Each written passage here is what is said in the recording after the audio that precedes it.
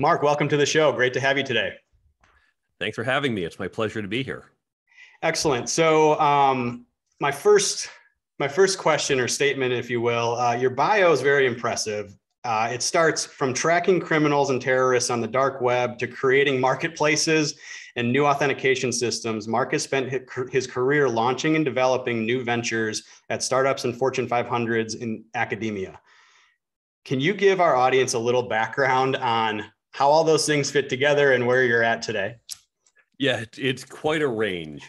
when I came out of MIT in the 90s, I started as a software engineer, and my primary career has been building tech startup companies. My graduate work was in cybersecurity, so I've done a lot of cybersecurity, including tracking terrorists and criminals on the dark web. I've done traditional startups. I've helped Fortune 500s play startup and innovate. I've built a number of marketplaces. So think the way Uber, for example, is a marketplace. I built a labor marketplace at Sears. I've built some data and lead marketplaces. I've built a video marketplace. So lots of different variations there. But along the way, as I was going down this path, I realized very early in my career that I wanted to be a CTO, a chief technology officer. And I realized that to get that job, it wasn't just about being the best engineer. Yes, I needed to be a good engineer, but there were all these other skills I needed leadership, networking, communicating, team building. No one ever taught me these skills. So, to get where I wanted to go in my career, I realized I had to develop those skills in myself. There weren't a lot of resources back then. We didn't have great podcasts like this one. So, I was really on my own. And as I began to develop these skills, I realized they're not just for executives. These skills benefit everyone, down to the most junior person in a company, and also founders and solopreneurs and entrepreneurs. All of us benefit from these skills. So I began to upskill my team as well as myself. And as I was doing this, MIT had done some surveys. They were asking companies about skills they were looking for. And the company said, Yeah, these are the skills we want leadership, communication, team building. We can't find them either. And by the way, they're not looking for it just for college grads or just for engineers. These are universal skills they want in everyone, but they can't find it. So at MIT, they said, well, we need to put this into our curriculum. And we created what's known as the Career Success Accelerator at MIT. When I heard about this, I reached out. I said, I have some resources I've been developing for my team. So they asked me to help create some modules for the class and then asked me to help co teach so, in addition to my primary career, I've also spent over 20 years teaching in this program at MIT, along with many other wonderful people. And now also the book, the app, the speaking, and other things I do related to that. So, I've had these parallel careers. Interesting. So, you've been kind of at this for 20 years, uh, and it was all sparked by your insight or desire to to become a CTO and figure out what were the skills you needed for why did you want to become a CTO what was it that drew you into that like specific role? Really good question. As an engineer, or I should say as a budding engineer growing up, I used to play with Legos a lot. I'm sure many listeners have as well. But then at a certain point, I stopped playing with Legos. And if you think about this, whether it's Legos or something else, think back and ask yourself, why did you stop playing with that toy? And for me, I thought a lot about why did I stop playing with Legos? Well, it's because spaceship number 52 was a lot like spaceship number 51 and 50 and 49. And at a certain point, I kind of got everything I could out of building spaceships and flying them around my room. I wanted new challenges, new things to try. And I was discovering the same thing was happening with engineering. It's fun as a software engineer to put things together, but I started to feel it's getting a little repetitive. And when I looked around to understand what are some different challenges, I realized that the people challenges are really interesting because there is no hard and fast rule for people. Every guideline we have, you can find an exception. And it's a much more complicated set of problems. And that's what I wanted to get into. So that's what propelled me in that direction. Okay, re- interesting. And so you you end up working with the MIT uh, Career Success Accelerator, 20 years of that. Obviously, um, you know, spend, spending a couple of decades doing this, you've you've seen a real sort of, I guess, hole in the market for developing these skills. Why aren't why isn't there more uh, traction in the academic community around building these types of, of skills or, or helping their uh, graduates build these types of skills? Great question. Academia moves very slowly and it's run by professors. Wonderful people, but they can be a bit narrow. So if you think about the experience, you show up and you say, I want to be a marketer. So you go to college as a freshman, and the professors, the ones with PhDs in marketing, say, well, we, the experts, can tell you if you want to do marketing, here are the classes you need to take the introductory, the intermediate, pick a few advanced, take all these classes. Oh, and the college might make you take a language or a history or some other random stuff. Fine. If you do all this, we'll give you a piece of paper saying you have acquired a certain level of knowledge in marketing. They are not saying you are a good marketer. They are not saying you are a good employee. They're just saying you have this knowledge. And that was fine when you go back about 70, 80 years. When you think mid century, when we were cogs in the machine, okay, no problem. You show up, you say, Hi, I have a marketing degree. What do I do, boss? Boss says, Here's your project. Sit there, do it. Come see me when you need something else to do. Go, okay. And you sat at your desk and did your work. And that was fine. You were very narrow in focus. But as the world changed, particularly the last 20, 30, 40 years, what we saw was the removal of middle management, the flattening of teams, more dynamic teams. And it's no longer your boss says, Well, I know more than you, and I will tell you what to do and just have you do the grunt work. Now the boss says, Okay, team, here's what we have to do. None of us have done this before, but we have to figure it out together with a diverse set of skills. And so now it's not just different knowledge, but you're interacting with lots of different people in different ways and taking more initiative. And unfortunately, academia hasn't caught up to this transition. We're seeing a couple other universities start to do nascent programs where they might drop in, oh, take one semester with some random assortment of skills, but you get maybe one lecture on one particular skill. I don't think it's going as deep, but over the next 20 to 30 years, I think we'll start to see some changes. Really interesting. And so the idea kind of for, for the book, I'm assuming then, uh, which is fantastic, by the way, I, I got mine, I got it all marked up. Uh, so the career toolkit, essential skills for success that no one taught you is really taking your experience and dis- distilling it into an operating system, if you will, uh, to and, and, being able to get your reach out to more people than just uh, students at MIT. Is that is that a fair assessment? That's exactly right. I have taught this elsewhere. I've used it when training up my own teams. We know these skills are not just for MIT undergrads. So I want to reach a larger audience with the book, the app as well, by the way. So if you don't want to mark up your book, the app contains all the great highlights and you can favorite the ones you like and you have it all organized there for you. Excellent. And so eh, we've talked a little bit about about skills and in the book you kind of make a differentiation between career skills and job skills uh, actual skills to do your job. And so uh, you know in, in, kind of why this matters uh, you know you really say why should you invest time developing these firm skills rather than getting better at spreadsheets learning a new design tool reading other scientific papers or anything else more directly that more directly relates uh, to knowledge specific to your job can you walk us through the key difference and maybe illustrate for us a little bit of why that distinction matters? Yeah, here's the analogy I use. And as you note, there are our technical skills, knowing how to do spreadsheets, knowing how to create a campaign on social media. But then there's all these firm skills, the leadership, the team building, the communication. When we were in school, we got evaluated in a very simple way. The professor said, here's a test, here's a blank spot where you put the answer. And if you get the right answer, you get a point. If you don't, you don't get a point. Very simple. You knew what the question was, you knew where the answer went. The real world doesn't work that way. Your boss doesn't say, stick your answer over here. Sure, sometimes she might say, give me the tally for this, give me a report on that. But often we don't even know the right question. Your boss may ask a question, it may or may not be the right one how you come up with the answer. In when it comes to academia your professor said here are the notes for this week and what's going to be on the test comes from this week. You know exactly what the material is. In the real world your boss doesn't say here's everything you need to solve the problem. Your boss just says solve the problem. Figure it out. So it's a lot more amorphous. It's not as structured and these other skills become more important. The example i use to open the book it comes from my friend professor charles Leiserson He gives the example of a rectangle. So we're going to do a little bit of math right now, but I promise it'll be easy. Sixth grade math. Imagine you have a rectangle that's four by 10, and you need to maximize the area by increasing one of the sides by two units. So which do you increase, the long side or the short side? If you need to pause this, feel free to pause for a moment.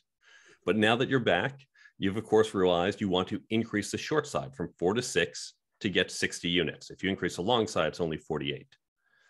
Okay, so what does this have to do with our careers? If you think conceptually what's happening, when you increase the short side by two units, those two units get amplified by that long side, by that 10. Now, all of us have short sides and long sides, and more than two, but two works for this illustrative purpose. You might be very good at creating spreadsheets, at engineering solutions, at marketing campaigns. That's your long side. But you will often engage with other people. So let's say, for example, let's take the short side as communication. So I'm a great engineer, I come up with all these complex solutions, but if I can't explain them to the marketing people to get them on board, to the product people, to other people to get them to buy in, no one wants to listen to my solutions because it's not just stick it on the bottom of the test and get the grade. So even though I'm a great engineer, have that really long side, if my communication's short, I am not so effective. And by investing a little time in that short side and getting better at communicating, we're not talking about now you can go on the TED Talk stage, but you're a little clearer in how you explain things or your emails aren't so rambly, you are much more effective and the power of your long side becomes much more useful. Yeah, that makes a lot of sense. I think like um, what I hear, like the buzzword around this type of concept, if you will, and and and I, I use it as well, is the idea of leverage. So, like, which skills um, have the most leverage, right? This kind of this. Uh, I, I, might screw up the math here, but like the the smallest input for the the the best bang for your buck, if you will, right? And I think what you're kind of saying is um, job specific skills are are fantastic. They're they're needed, but there there's this meta level of skills, if you will, um, that actually, if you invest in them, they have they carry more leverage over a longer period of time. Um, if you think about your career as a you know a 40 year track. Is that is that accurate fair statement? That's exactly exactly right. Now obviously we still have to invest in those job skills. As an engineer what i learned 20 years ago is a little out of date. And all of us need to know if you're in marketing what's the newest social media trends but don't do it to the exclusion of these short skills because as you point out you typically get a better roi or better return on investment per unit time on these shorter sides. The same way adding two to that shorter side does more than adding two to the longer side. So a lot of our audience are are younger professionals you know maybe just starting out. Um, do you have a point of view of all the of all the skills that you kind of talk about do you have a point of view on um, timing of those skills in terms of what what should or, or most commonly should be focused on on first? Um, or, or is there like a specific uh, hierarchy or way that maybe uh, you structured the book in terms of thinking about acquiring those skills and when? Yeah very good question. The book itself has 10 different skills. And the way i set up the book there's the introductory chapter which is about seven pages and I say, you can jump to any chapter you want. If you really want to start with your networking skills, go right ahead and go to chapter eight and skip the intermediate seven. But if you're not sure where to go, start with chapter one, which is on career planning, because that has tools to help you figure out where do you want to go? What is the path to get there? You might realize, for example, that the path to get where you want to go, there are checkpoints along the way. You don't just go, for example, from being an engineer to CTO before I could manage a team of 100 people, they needed to see I could manage a team of 10. Well, if I have zero management skills, I don't just mean I've never done it before, I don't even know how to do it, I'm not going to be good managing that team of 10. So if that's next in my goal, maybe I say, let me focus on those management skills so I can get this job in the next year or two. The networking, I know I got to get better at that, but I'll deal with that later on. So, how you sequence it really comes out of the career plan you create. So I'd recommend starting with chapter one if you're not sure where to go, but feel free to jump to any chapter. You don't have to read it in order.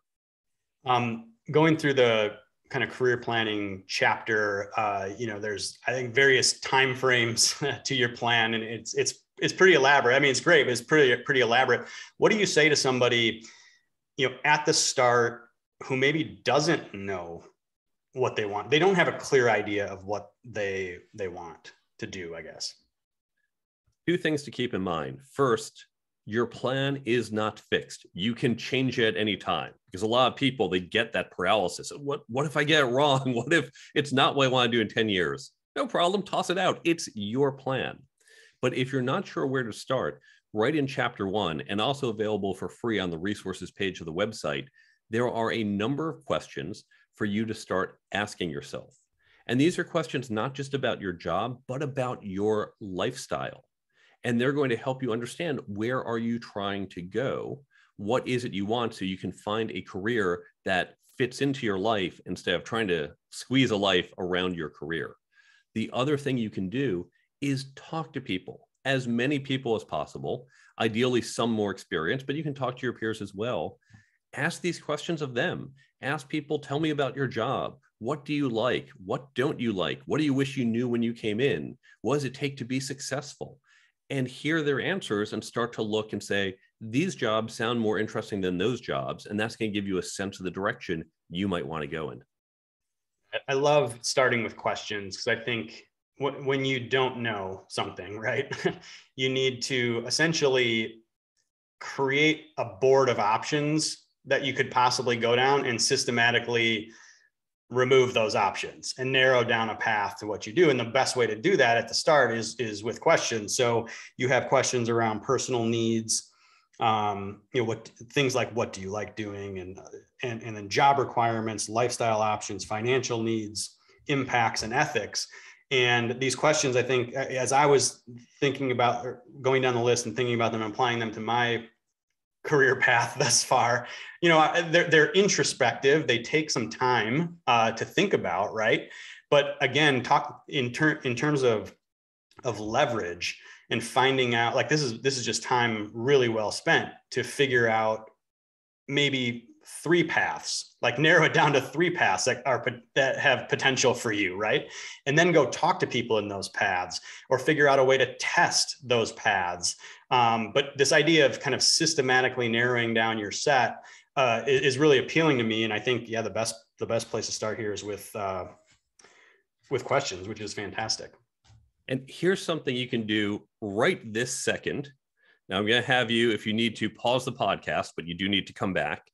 You're going to pause the podcast, go into your phone, go into your calendar, and create an event in the next week or so that says, Think about my career. And you're going to set that as a recurring event at least every six months. So do that, pause the podcast if you need to. And now that you're back, what you have is a guarantee that at least once every six months, you will spend an hour thinking about these questions. Because as you point out, this is not one and done. It requires a lot of introspection. You can think about other times. You don't only have to think about during this time, but now you have that reminder so you don't drop the ball. And all the episodes of this podcast that you've listened to in the intervening six months, you can take that and bring it into your thinking.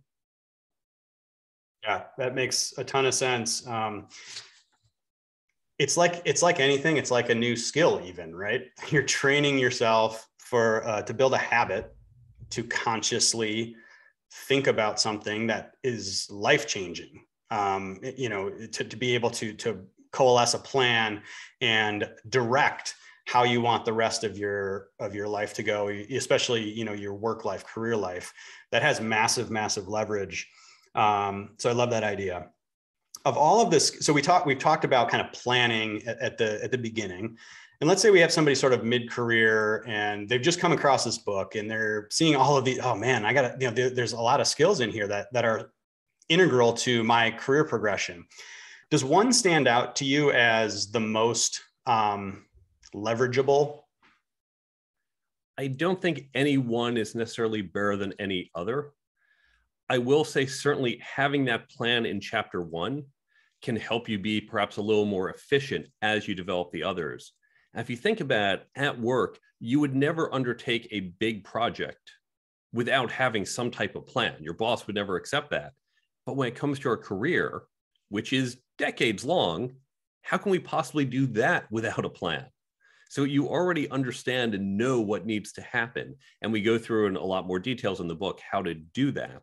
But I wouldn't say any one skill for different people, different skills might have better better impact on their career. Yeah, that makes sense. I think uh, one that came to mind as I was as I was writing that question and thinking about it is is negotiation. And the reason is like right now we're in this sort of weird job market where it feels like there's more power being sort of transferred to employees in the sense uh, that there's a, uh, an abundance of jobs and not as much talent or, or labor to, to, fill those jobs.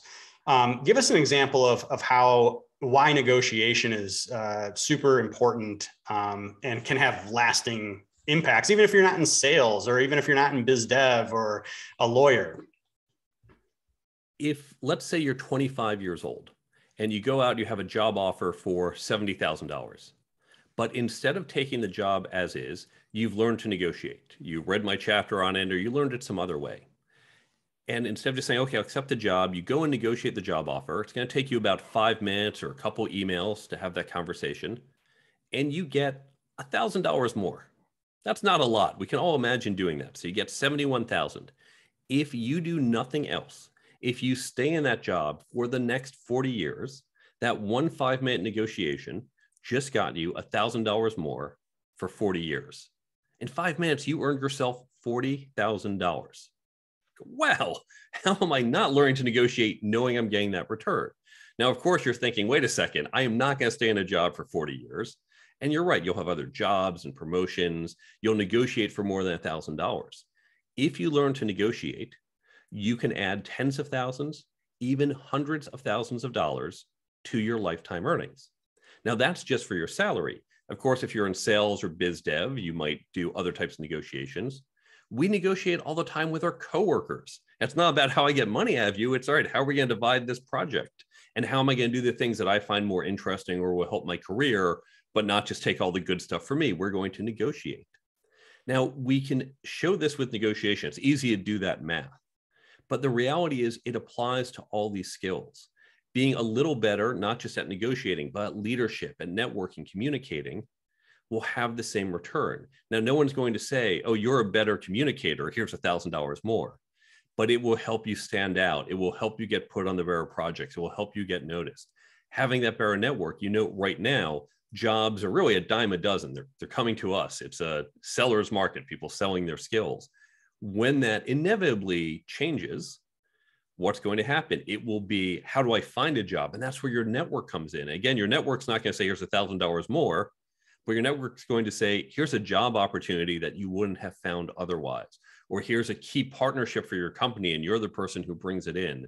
So all of these skills at different times and different circumstances can have that tremendous, really amplifying effect.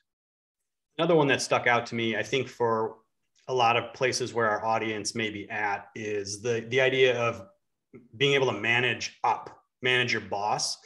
Um, and I've written an article on kind of this in terms of, of ownership and, and just owning the the task that you have and understanding that your boss is looking to you to to solve problems for him or her um, and to be then kept in the loop you know so that they can communicate up and manage their boss. Um, and, but not everybody thinks of that. I think i think a lot of people come in and say my boss is going to tell me what to do why, why is it? What's your take on on managing up? So this again comes from our educational experience. The professor tells me what he or she wants and says, right here, here's the answer I want. Stick it in this box. And you go, okay, great. I know what to do. Our bosses don't do that. They don't always know what to ask.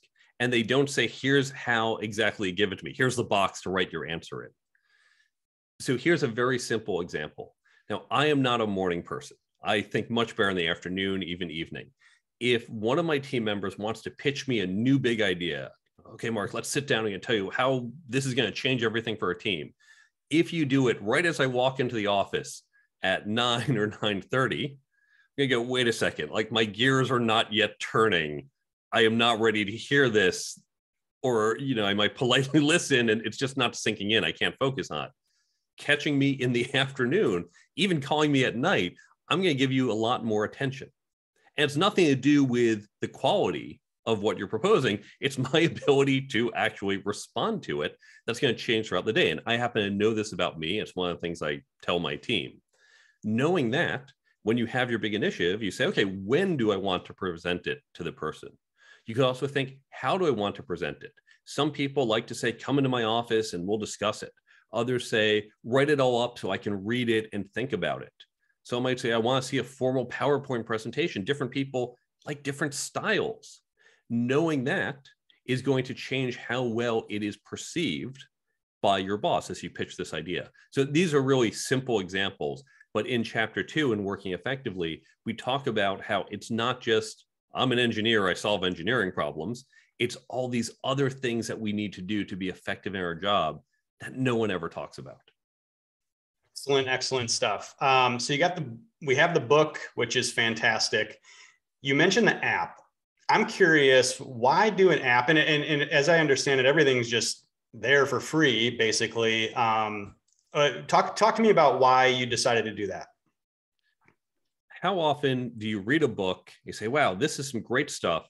And then three weeks later, you forgot 95% of it because we get busy. We move on to other books. We have our work. My job as an author, as an educator, it's not just to get you to buy pieces of paper. That doesn't help you, doesn't help me. I want you to learn it and use it and change because of it. And that means you need to retain it. Now, as I was doing the book, I was able to combine my experience as an educator, as a technologist, as someone who worked in media, and understood there was a missing piece for most books out there, for most nonfiction books. I really thought someone must have done this. I didn't plan on building it. I thought I'll just license it, but it didn't exist. So what I did is I went through my book and it's as if you took a highlighter and said, right, here's the key point, here's the quote, here's what to remember. I put it all into the app, the Career Toolkit app, which is free on the Android and iPhone stores. And you can use it one of two ways. One way might be I'm about to walk into an interview or a networking event. And there were all those tips I read a few months ago, but they're kind of fuzzy.